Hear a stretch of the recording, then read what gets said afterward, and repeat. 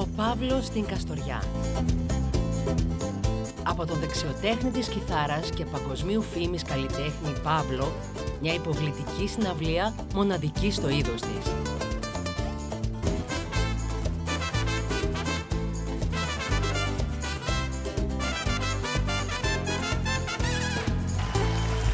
Ο Παύλος στην Καστοριά.